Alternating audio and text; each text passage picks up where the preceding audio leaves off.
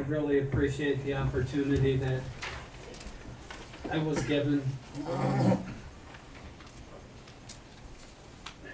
Back in two thousand, when I first approached John Lowy about joining the department in, uh, Vic Maloney, I, I didn't know what to expect.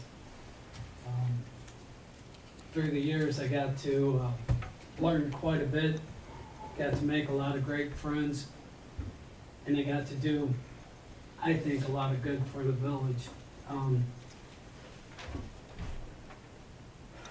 I'm not real good at speech making, but, you know, I, I, I just can't express enough how much this means to me. Um, The last couple of years have been really rough on me and my family. I mean, I had some health issues, which is the reason why I had to retire from here. Some of my friends that are here can, can vouch for it, you know, even as far as like coaching, gave the parents a sense of safety because they knew that the guy coaching first base was an EMT. One of the kids got hurt and it'd be all right, you know? I can't tell you how many times Steve and I would walk out onto the diamond where a kid just got injured and say, hey, can you go like this? He goes, yes, all right, goodbye.